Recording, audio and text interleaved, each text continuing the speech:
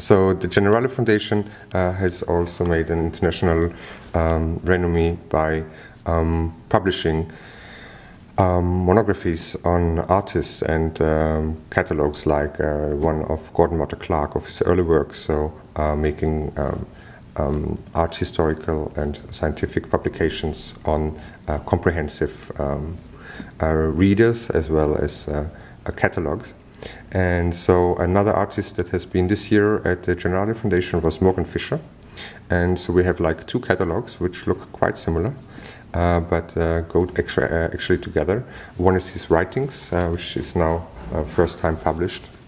Um, with his, so Morgan Fisher, of course, is an avant-garde filmmaker, very much interested in the medium itself, so very self-reflexive, where he's kind of um, trying to um, elaborate on the uh, aspect of time, for instance, in film, but also on different formats. So these are his writings.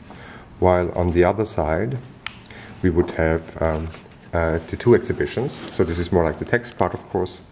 And here we go with um, uh, his uh, one of his most famous work, which is of course um, uh, the one where one can see the actually the film before the film actually so the leaders the so-called leaders uh, uh, which come with uh, um, checking so to say the um, uh, checking the uh, sharpness and the colors of a film before the film itself begins. So it's more kind of a um, aspect of how um, how one so these are the projections uh, like uh, standard uh, gauge and Cue Rolls and for instance this is um, a piece of different mirrors and every mirror has actually a different size of one of the standard formats at a specific time of cinema. So have, you start with the silent film and then you grew even larger up to CinemaScope and total uh, and um, the different ratios actually of uh, of the screen and um, then, of course, you do have uh, his um, uh, relation to color. He's like collecting books on color with different color shades from different, from various um, um, decades, and so uh, also very much working on the shadow. These, for instance, were pieces of monochrome paintings uh, presented in various lights. So these are kind of glowing in the dark, so to say, and therefore complementary colors.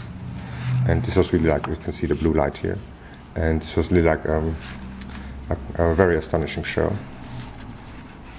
Here the mirror pieces again so you can always see here like this is Panavision with 240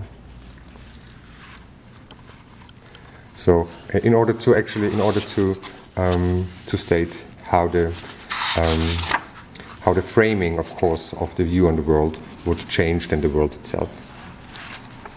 And uh, so yeah this is picture and sound rushes where he would have one time having just sound and one time just picture. It's a little bit quite an analogy to Peter Kubelka's Arnulf Rainer even though it works quite differently.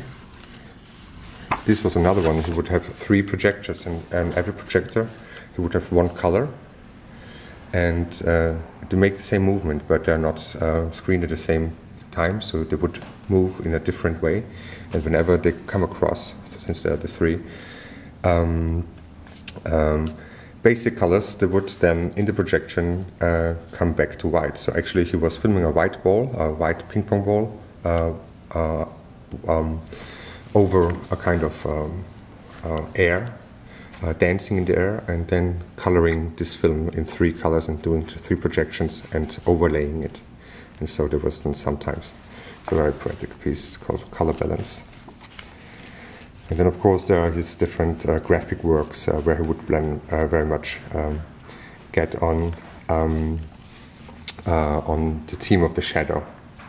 So this would be, um, yes, this uh, very complete uh, to publish the Uh, two catalogs on Morgan Fisher.